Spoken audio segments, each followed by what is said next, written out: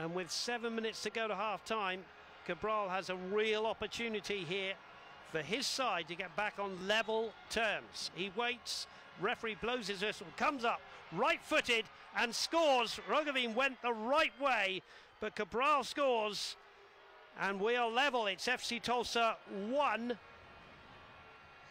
Phoenix Rising FC 1.